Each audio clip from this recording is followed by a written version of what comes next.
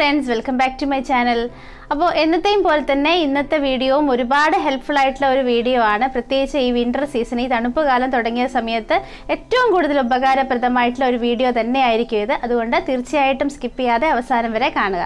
അപ്പോൾ എന്റെ ചാനൽ ആദ്യമായിട്ടാണ് കാണുന്നതെങ്കിൽ നമ്മുടെ ചാനലിലൂടെ ഞാൻ നിങ്ങളിലേക്ക് എത്തിക്കാൻ ശ്രമിക്കുന്നത് ഒത്തിരി ഹെൽത്ത് ടിപ്സ് ബ്യൂട്ടി ടിപ്സ് അതുപോലുള്ള ഫിറ്റ്നസ് റിലേറ്റഡ് ആയിട്ടുള്ള വീഡിയോസ് അത്തരം കാര്യങ്ങളൊക്കെയാണ്.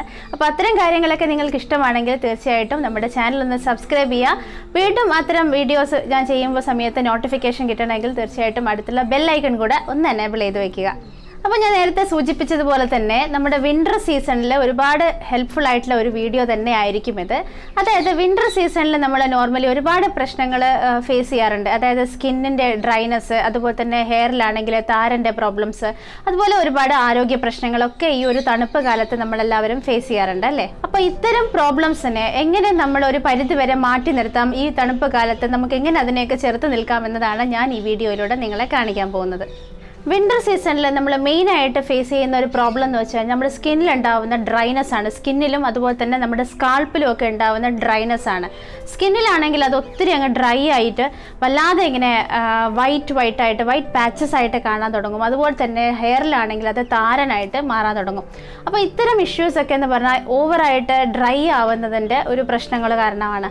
അപ്പോൾ അതിന് വേണ്ടി നമുക്ക് നോർമലി നമുക്ക് ചെയ്യാവുന്നത് ആസ് യൂഷ്വൽ ഞാൻ പറയുന്നത് പോലെ തന്നെ നമ്മൾ എപ്പോഴും നല്ല ഒരു മോയ്സ്ചറൈസിങ് ക്രീം അപ്ലൈ ചെയ്യുക എന്നുള്ളതാണ് ഫേസിലാണെങ്കിൽ അതുപോലെ തന്നെ ബോഡിയിലാണെങ്കിൽ കുളിച്ച ഉടനെ ഒരുപാട് അങ്ങ് ഡ്രൈ ആവുന്നതിന് മുന്നേ തന്നെ നല്ലൊരു ബോഡി ലോഷൻ ഉപയോഗിക്കുക എന്നുള്ളതാണ്. അപ്പോൾ ഇതിലൊക്കെ നമ്മൾ ഓൾറെഡി പല വീഡിയോസിലായിട്ട് പറഞ്ഞിട്ടുണ്ട്. എങ്ങനെ ചെയ്യണം എങ്ങനെ അതൊക്കെ ഉപയോഗിക്കണം എന്നതിനെക്കുറിച്ചൊക്കെ ഡീറ്റെയിൽ ആയിട്ടുള്ള വീഡിയോ ഞാൻ മുമ്പേ ചെയ്തിട്ടുണ്ട്. അപ്പോൾ അതെങ്കിലും ആരെങ്കിലും കാണാത്തവരൊക്കെ ഉണ്ടെങ്കിൽ തീർച്ചയായിട്ടും ആ വീഡിയോസൊക്കെ കാണാൻ ഞാനിവിടെ സജഷനിലും അതുപോലെ തന്നെ ഡിസ്ക്രിപ്ഷൻ ബോക്സിലൊക്കെ കൊടുത്തേക്കാം.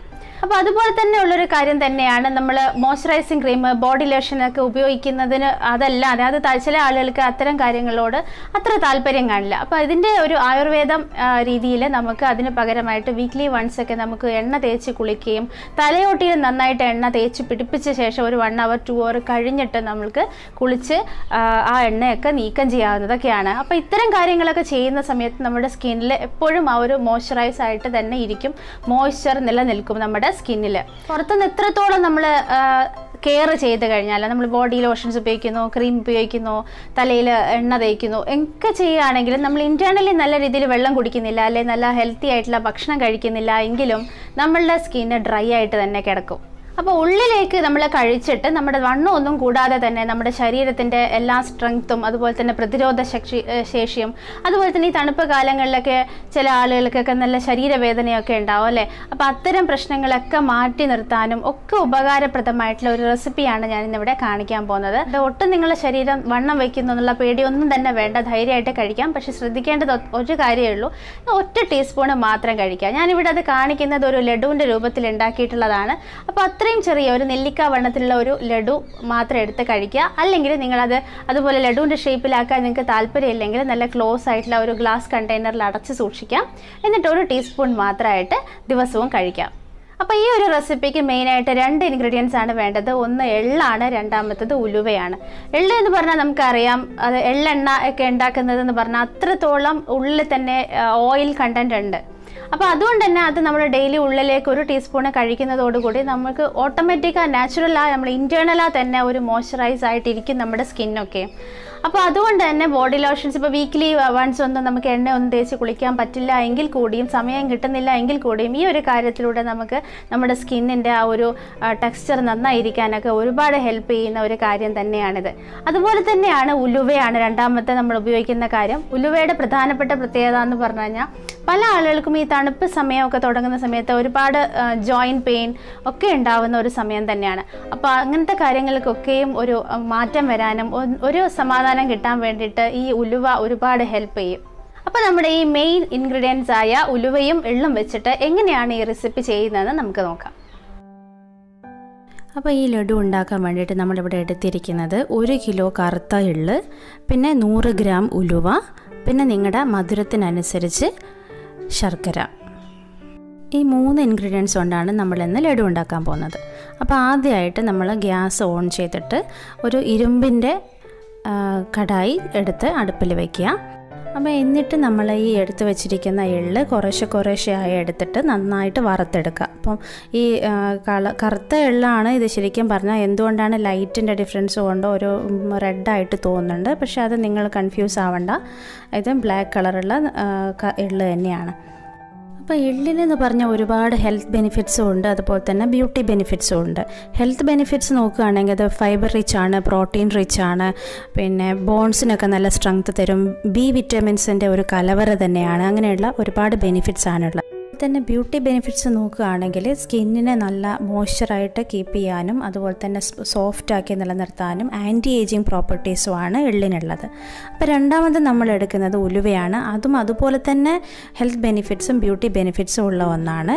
അതായത് നമ്മുടെ ശരീരത്തിനുള്ള പെയിനുകൾ ഏതെങ്കിലും രീതിയിലുള്ള മസിൽ പെയിനുകൾ പീരിയഡ് സംബന്ധമായിട്ടുള്ള പെയിനുകൾ അതൊക്കെ മാറാനൊക്കെയും അതുപോലെ തന്നെ കൊളസ്ട്രോൾ ഒന്ന് ബാലൻസ് ചെയ്യാനൊക്കെ ആയിട്ടാണ് ഉലുവ ഉപയോഗിക്കുന്നത്. ഇതിനും ഒരുപാട് സ്കിന്നിനെയും നറിഷ് ചെയ്യാനും അതുപോലെ തന്നെ സ്ട്രോങ് ഹെയറിനും ഒക്കെ വേണ്ടിയിട്ടും കൂടിയാണ് ഇത് ഉപയോഗിക്കുന്നത്. അപ്പം ഈ രണ്ട് കാര്യങ്ങൾ കൂടി ചേർത്താണ് നമ്മൾ ഈ ഉണ്ടാക്കുന്ന ഈ ലഡു ഉണ്ടാക്കാൻ പോകുന്നത്. അപ്പം നിങ്ങൾ ആലോചിച്ച് നോക്കൂ ഈ പൗഡർ എത്രത്തോളം ഇതുകൊണ്ട് ഉണ്ടാക്കുന്ന ഈ ലഡു എത്രത്തോളം ശരീരത്തിന് ഗുണമാണെന്ന്.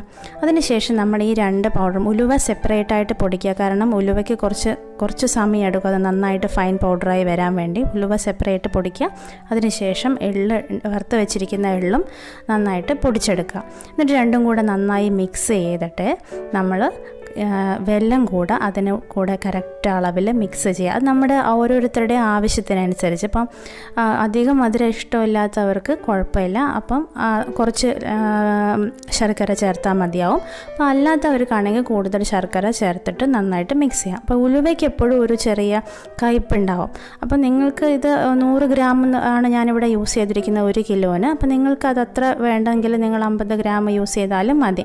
ഇപ്പോൾ ഉലുവ നമ്മൾ ആവശ്യത്തിന് എടുക്കുന്നത് തന്നെയാണ് നമ്മുടെ ശരീരത്തിന് ബെനിഫിറ്റ് കിട്ടുന്നത്. അതുകൊണ്ട് നൂറ് ഗ്രാം തന്നെ എടുക്കാൻ പറ്റുകയാണെങ്കിൽ അത് തന്നെയാണ് നല്ലത്. നൂറ് ഗ്രാമിന് എടുക്കുമ്പോൾ അത്രമാത്രം ഒരു സഹിക്കാൻ പറ്റാത്തൊരു കയ്പൊന്നുമില്ല. എന്നാലും ചെറിയ ഒരു കയ്പുണ്ട്. അപ്പോൾ അത് ഇഷ്ടമില്ലാത്തവർക്ക് അതിന്റെ അളവ് കുറക്കാം. അതിനുശേഷം ഞാനിതുപോലെ വെല്ലമൊക്കെ കൂട്ടിയിട്ട് നന്നായിട്ട് ഇതുപോലെ ബോളുകളാക്കിയിട്ട് വെച്ചിരിക്കുകയാണ്. അപ്പോൾ വണ്ണം വയ്ക്കുന്ന ഒട്ടും പേടി കൂടാതെ കഴിക്കാൻ പറ്റുന്ന ഒരു ലഡുവാണിത്. അപ്പോൾ ഇത് ഇഷ്ടപ്പെടുകയാണെങ്കിൽ നിങ്ങൾ ഈ വീഡിയോ ലൈക്ക് ചെയ്യുക. പിന്നെ ഞങ്ങളുടെ ഇതുപോലുള്ള ബ്യൂട്ടി ടിപ്സ് ഹെൽത്തി ഡയറ്റൊക്കെ കിട്ടണമെങ്കിൽ നമ്മുടെ ചാനൽ സബ്സ്ക്രൈബ് ചെയ്യുക. അടുത്തുള്ള ബെല്ലൈക്കൺ എനേബിൾ ചെയ്യുക. അപ്പോൾ ഈ ഒരു വിന്റർ സീസണിൽ നിങ്ങൾ ഇതൊക്കെ കഴിക്കുക. പുറത്തുനിന്ന് നമ്മൾ എത്ര എക്സ്റ്റേണലി കെയർ കൊടുത്താലും ഇന്റേർണലിയും കൂടെ നമ്മൾ ഇതൊക്കെ ശ്രദ്ധിക്കുക. ധാരാളം വെള്ളം കുടിക്കുക. അപ്പോൾ അതൊക്കെ ചെയ്തുകൊണ്ട് നിങ്ങളും ഈ ഒരു വിന്റർ സീസണിൽ ഒരു പ്രോബ്ലം നിങ്ങളുടെ സ്കിന്നിനോ ഹെയറിനോ ഇല്ലാതെ ഇരിക്കട്ടെ. അപ്പോൾ എല്ലാവർക്കും ഈ വീഡിയോ ഇഷ്ടപ്പെട്ടെന്ന് വിചാരിക്കുന്നു. എല്ലാവരും ഇതൊക്കെ കഴിച്ച് ഈ ഒരു വിന്റർ സീസണിൽ നല്ല ഹെൽത്തി ആയിട്ടിരിക്കാൻ ശ്രമിക്കുക. Stay fit stay happy bye